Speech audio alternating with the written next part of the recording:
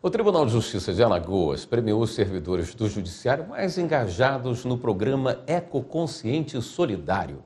O repórter André Risco acompanhou. A premiação contemplou os servidores que mais contribuíram com a coleta seletiva nos meses de junho e julho.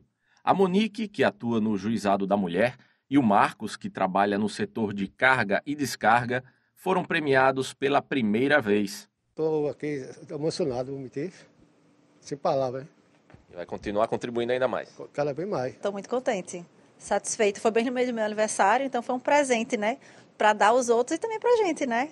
Ser reconhecido pela, por querer participar, né? Eu acho que é importante quem todos os servidores, né, se engajarem nisso. Sou assistente social, né? Eu sei quantas essas famílias que a gente acaba eh, beneficiando, né, usufrui desse recurso e melhora a vida delas também com o trabalho da reciclagem. Todo o material coletado aqui na sede do Tribunal de Justiça, na Escola da Magistratura e no Fórum da Capital é destinado para a Cooperativa de Recicladores de Lixo Urbano de Maceió, a COPLUM.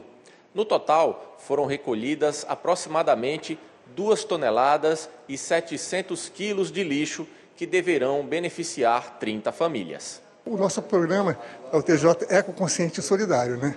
Ele já foi pensado a logo é, pensando nisso, na solidariedade.